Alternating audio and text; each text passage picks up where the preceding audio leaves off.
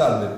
Nel Consiglio regionale di domani 3 novembre il Movimento 5 Stelle presenterà una mozione che riguarderà lo stato di gravità del nostro patrimonio edilizio scolastico. Il 40% di questi eh, immobili sono privi del certificato di abitabilità, il 60% sono costruiti prima del 1974 e un buon quantitativo di immobili sono privi del certificato di antincendio.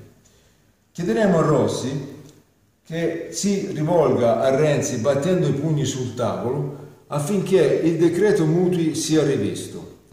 Chiederemo che sia in, uh, indetto, sia uh, potenziato quello che è un programma di manutenzione ordinaria e straordinaria affinché il nostro patrimonio scolastico sia uh, alla stessa altezza di quello degli altri paesi europei vorremmo che fossero attivate tutte quelle coperture che andranno a coprire appunto le mancanze del decreto mutui.